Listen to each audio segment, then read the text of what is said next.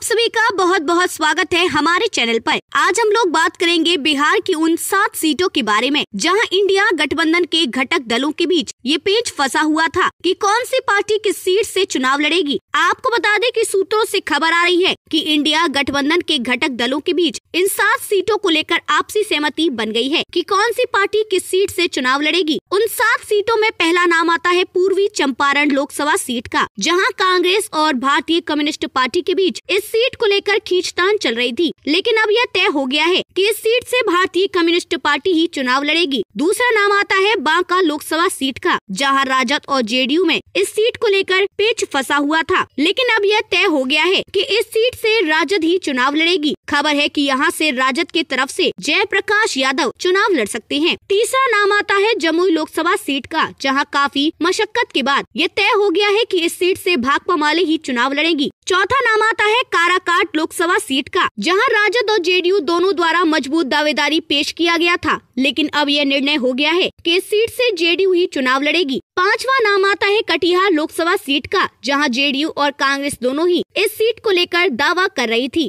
लेकिन अब यह तय हो गया है कि सीट पर कांग्रेस के तारिक अनवर ही चुनाव लड़ेंगे। छठा नाम आता है समस्तीपुर लोकसभा सीट का, जहाँ यह तय हो गया है कि इस बार यहाँ से जेडीयू ही चुनाव लड़ेगी। सातवां नाम आता है पश्चिमी चंपारण लोकसभा सीट का, जहाँ राजद और जेडीयू के बीच इस सीट को लेकर खींचतान चल रही थी। लेकिन अब यह स्पष्ट हो गया है कि इस सीट से राजद ही चुनाव लड़ेगी। वैसे यही था वह सात विवादित सीट, जिसको लेकर अब यह स्पष्ट हो गया है कि कौन सी पार्टी कहाँ से चुनाव लड़ेगी। वैसे इस वीडियो पर आपकी क्या राय है, कमेंट बॉक्स में ज़रूर लिखें। और अगर अभी तक वीडियो को लाइक नहीं किया है तो वीडियो को लाइक करें और चैनल को सब्सक्राइब करना ना भूलें।